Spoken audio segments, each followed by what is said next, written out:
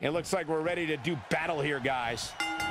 And don't you dare discount the goddess Alexa Bliss. As vicious as she is, absolutely brilliant. And I don't think I'd say it. Again. And here's an early cover. Toss to the outside. Wow. Oh, look out. Diving Ooh. knee drop.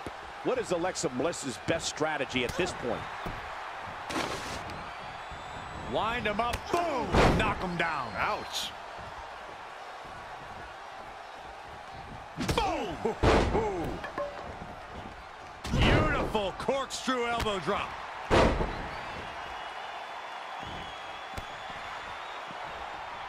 Uh-oh. Strong punch. Jarring. Alexa Bliss looks to finish this one early. An easy kick out there. Clearly not enough damage done. Oh, using the knee as a weapon. Leaving the ring here may change the entire complexion of this match. Looking a little groggy. A little. Drops the time to end this. Producing a trampling. Wow! Corkscrew leg drop. Bliss is out of it, guys. Things just went from bad to worse for Alexa Bliss. Can she keep her down?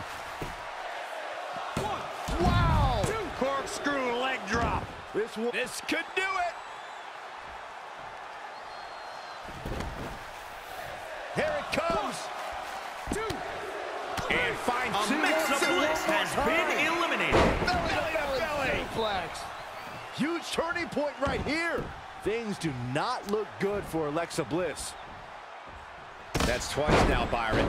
Yeah, she really knows how to handle that, huh?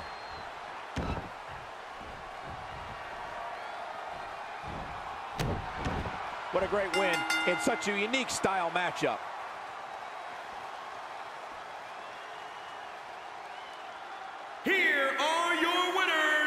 Sending a message to the entire locker room with that win. That's exactly why she's seen as one of the most dominant females on the roster. And as we expected, WWE Extreme Rules has been a brutal evening.